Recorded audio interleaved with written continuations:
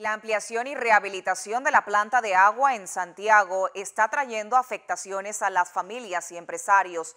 Las adecuaciones se tenían que hacer hace buen tiempo, pero no se hacen porque están acostumbrando a no darle mantenimiento de prevención a los equipos. Así lo manifestó la presidenta de la Cámara de Comercio de Veraguas. El alcalde Samit Sandoval mostró su descontento y dijo que en materia de suministro de agua es muy preocupante. La empresa que está haciendo los trabajos ha ocasionado en un mes cinco paralizaciones.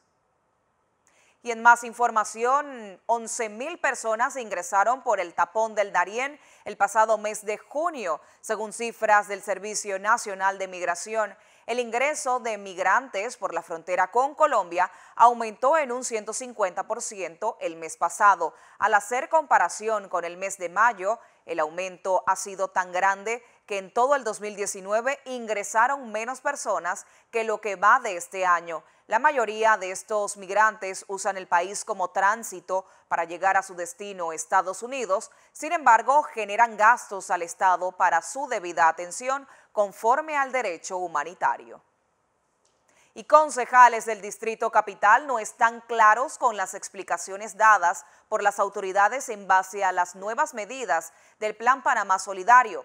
En la última sesión del Consejo Municipal, para explicar lo referente al servicio social comunitario y las capacitaciones que ahora se les exigirá a los beneficiarios para poder seguir cobrando su vale digital, quedaron algunas interrogantes como quién paga los insumos que serán utilizados para estos trabajos voluntarios o cuál será el destino de los bonos físicos y qué ayuda se le brindará a extranjeros residentes en el país que están en difícil situación económica.